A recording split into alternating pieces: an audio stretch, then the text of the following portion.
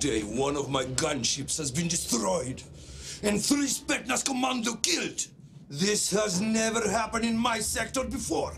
My condolences. You know who is responsible, don't you? Who is this man?